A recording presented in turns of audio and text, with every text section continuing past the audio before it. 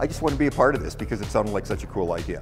Everybody here is a superstar. Everyone is so excited to be here. They're present, they are willing to get involved and willing to jump into anything. And what I saw was uh, everyone hanging on everyone else's words.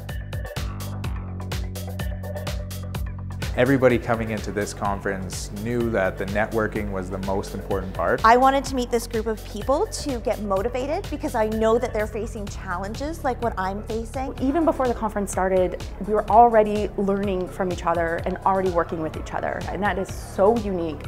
I've never been a speaker at an event where I felt like I was so much a part of the event. It's about family and community and inclusiveness and working together as a group.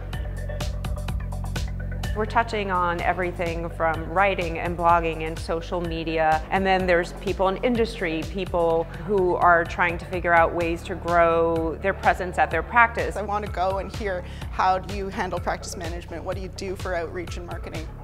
And everybody here wants to take their game up another level. And you were able to have that back and forth, to share those ideas, to jump off of each other. We can move our profession in a way that embraces everything that's available to us.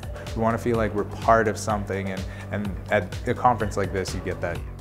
This is my passion and I just want to do it better and I love to be with people who say you can do it. Here you are, here are the tools, make something from these tools and let's go do something big.